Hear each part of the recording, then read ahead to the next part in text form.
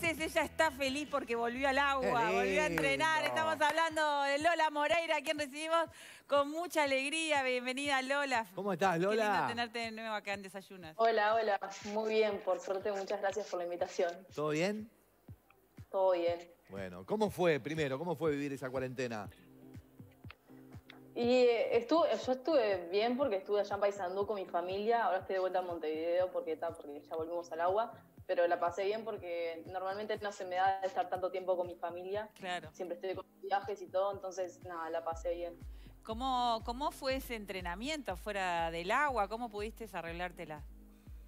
Eh, pudimos conseguir algunas cosas en, eh, de un gimnasio de allá de Paysandú. Eh, nos prestó algunas barras, discos, también algunas mancuernas.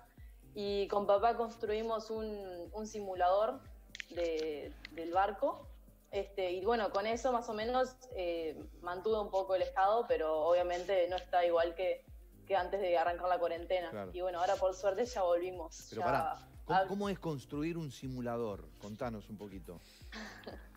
Eh, bueno, yo vi a, tengo un compañero en Chile, un, otro navegante, que construyó uno, le pasé las medidas, digo, me pasó las medidas, eh, y bueno, eh, básicamente son maderas juntas que, que, bueno, más o menos simulan eh, un costado del barco donde yo voy eh, colgada durante Ajá. la regata. Y básicamente lo que puedes entrenar es tu postura en el barco. Claro. Sí, sí, Y no bueno, con papá, o sea, le pedí a papá las, eh, todas las, las maderas. eh, él justo trabaja en, eh, en una cerra- o sea, tiene un aserradero, entonces me las consiguió rápido.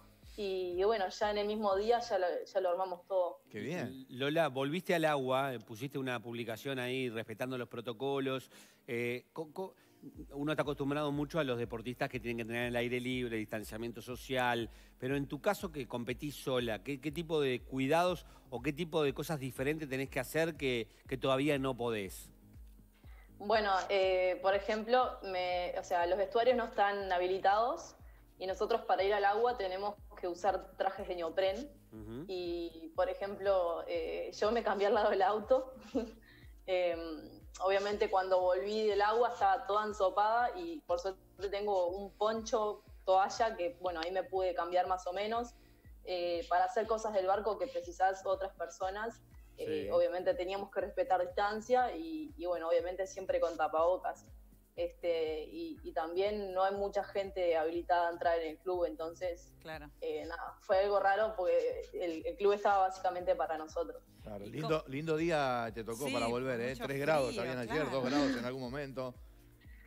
Sí, sí, la, la pasé, la pasé mal, pero, pero bueno, está, pero eh, con estar el- de vuelta en el agua yo estoy feliz. Y ahora en, esta, en, esta, en estos días de frío y donde bueno el, el sol eh, aparece más, más tarde, eh, ¿tenés que cambiar horarios? ¿Tenés que arreglar el tema del- de los tiempos diferente a lo que venías haciendo como rutina? Sí, obvio, porque el tema ahora en invierno es que baja la, la niebla, entonces si estás en el agua navegando, podés, o sea, puede bajar la niebla y no sabes a dónde tenés que volver. Claro. Entonces, eh, obviamente intentamos volver antes. Eh, yo ahora, entre semana, estoy intentando navegar más o menos de, de una a tres, cosa que ahí está, o sea, es, creo que es el momento del día donde está más calentito Claro. y además todavía no baja la niebla, entonces eh, por ahí estoy salvada, pero después los fines de semana, eh, los entrenamientos con, con todos los demás, con el club, eh, son a las 11. El- Entonces, ahí, Sí. por, ahí por suerte tenemos a, a un entrenador que, bueno, que nos, nos supervisa. Ahora, Lola, estaríamos en el mes previo de los Juegos Olímpicos. Eh, ya estarías en los detalles finales, este, compitiendo. ¿Cuánto te cambia a vos el hecho de que se postergue un año? Porque es un año de reagendar todas las competencias previas, prepararte, un año más de edad, que en tu caso este, sos muy joven y no te afecta, en otros atletas sí. Este, ¿Cómo te cambia a vos el hecho de que los Juegos se hayan postergado una temporada completa? Eh, yo, a mí personalmente me vino muy bien porque estoy lesionada y, y bueno, iba a llegar lesionada a los juegos, entonces eh, me vino bien porque bueno, puedo, puedo recuperarme completamente y aparte creo que, creo que me vino bien porque normalmente tenemos desventaja de, o sea, a- nosotros al menos de Uruguay o de Sudamérica, de que no hay muchas competencias acá y lo que intentamos hacer es ir mucho a, a Europa. Ujú. Pero ahora con que en ninguna parte del mundo se estaba pudiendo entrenar, es como que todas arrancamos de vuelta de cero Claro. y obviamente cuando se habiliten las competencias ya sabemos que todas vamos a ir a las mismas, a las mismas competencias. Entonces es como que, como que se empareja un poco el, el juego y, y bueno, ahí lo, lo que realmente hace que cambie la forma de navegar un- entre una y otra son las habilidades de, de la, de la competidora. Claro. ¿Y, y ya te armaste un calendario para este año? ¿Cómo, a ver, teniendo en cuenta primero que no sabemos cuándo se abren las fronteras. Segundo, cómo va a estar Europa, por más que ya Europa empieza a tener más normalidad. ¿Cómo van a estar los recursos económicos? ¿Qué, qué gente te va a poder apoyar? O sea, hay toda una incertidumbre grande en muchos temas a la hora de planificar la preparación para Tokio. Obviamente, eh, mirá, yo por ahora, por el momento, solo tengo una competencia que se confirmó, que es el sudamericano, y en- es en septiembre en Río de Janeiro. Septiembre, Río. Justo en Brasil, que Sí, está claro. bastante complicado. Este, pero bueno, no sabemos si vamos a ir y yo creo que, que si bueno, que si se llega a hacer, supongo que vamos a tener que poner primero la salud por delante antes que, que, bueno, que la competencia. ¿Y cómo vas a estar en esa fecha con respecto a esa lesión que nos comentabas recién? Ya estoy terminando la- los tratamientos que, que me estoy haciendo con la clínica METS y bueno, ahora vamos el jueves a empezar a trabajar con isoquinética para ver la evolución de la rodilla y, y del músculo. Este, pero, pero bueno, ya volví al agua, cosa que antes no, no estaba entrenando justamente por la lesión Claro. y, y volví con mucho menos dolor del, que, que, bueno, que la última vez que había navegado. Entonces eh, yo creo que vamos bien y, y dentro de poco ya voy a estar eh, 10 puntos. ¿Tuviste que cambiar, bueno, perdón, tuviste que cambiar algo de la alimentación en este tiempo de confinamiento? ¿Te costó, digo, porque nos costó a todos? digo. Claro, tal cual. Aparte también no, Sí. no estás teniendo el desgaste. Claro. No, que- y, que es y habitual. aparte en Paisandú con, con- con Claro. la familia, Con ¿no? la con la mamá cocinando claro. y la gente del Imagino que entorno. algún asadito de más, en fin.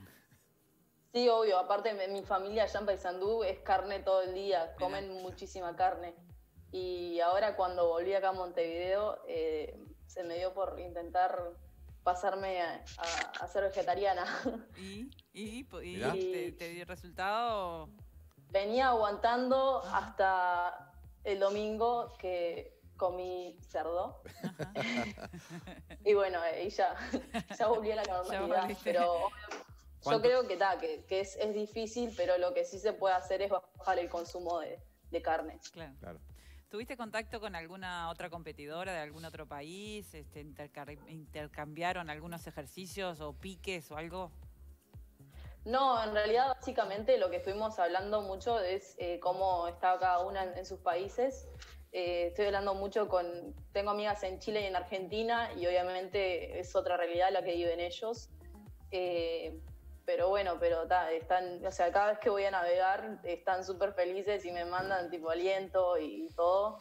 Eh, pero obviamente está todo súper complicado y, Claro. y obviamente ni, ni bien puedan salir van a estar ahí en el agua. Re- recién hablaste de, de la gira de, o de la competencia que tenés en Río de Janeiro, pero para el 2021, ¿no? Para- pensando en prepararte para Tokio, para los Juegos Olímpicos, eh, ¿ya hay una agenda que tengas, no sé, competencias eh, marcadas? ¿Va a depender también de la evolución de la pandemia y de los aspectos económicos?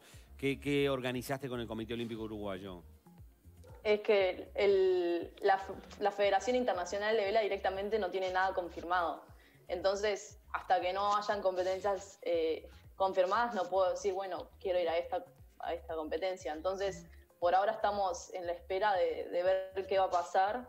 Eh, nuestro plan este año al menos era intentar hacer un campeonato por mes para, bueno, para foguearnos y llegar, Claro. llegar eh, bien a los Juegos y creo que si se confirman todas las cosas el año que viene, eh, normalmente en la vela siempre es, es el circuito mundial que siempre es, por ejemplo, en enero eh, se compite en Estados Unidos, después en abril en Francia y, y hay, hay varios campeonatos que ya están pactados de que todos los años son en, el mismo lugar, en las mismas fechas. Entonces, si se llega a confirmar eh, todo, yo supongo que haremos, tendremos los mismos planes que este año. Claro. Imagino que, a ver, a todos los deportistas y, y- y en todos los deportes les pasa lo mismo, mucho tiempo de, de estar parados. A vos te tocó estar tres meses fuera del agua, ahora volvés al agua. ¿qué tiempo crees que te puede llevar estar en, eh, eh, en el lugar que estabas, ¿no? Con el, todo el entrenamiento que tenías.